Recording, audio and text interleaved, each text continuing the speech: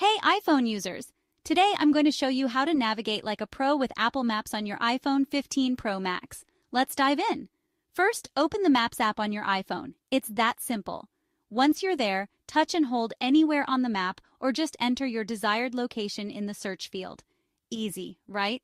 Alright, next up, tap that directions button or the travel mode button, which looks like a car, walking person, bike, or a transit icon. These icons help you choose your preferred way of travel. Whether you're driving, walking, biking, or using public transport, Apple Maps has got you covered. Now, if your starting point is your current location, just tap Go for the route you want to take. And bam, you're ready to hit the road. But wait, there's more. Apple Maps on iPhone 15.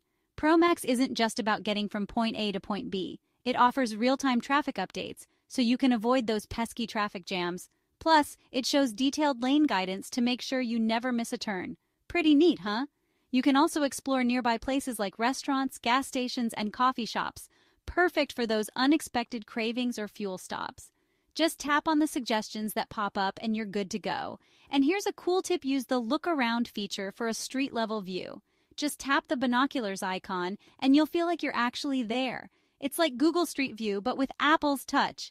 And there you have it, folks. Navigating with Apple Maps on your iPhone 15 Pro Max is a breeze. So go ahead, give it a try, and make your journey smoother and smarter. Don't forget to hit that like button and subscribe for more awesome tips.